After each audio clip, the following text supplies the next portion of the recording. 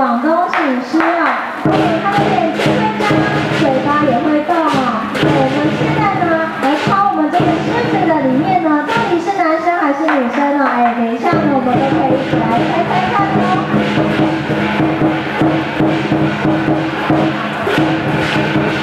哦我们好像还有一头小狮子还没有回来哈哎赶快哦赶快一回来哦。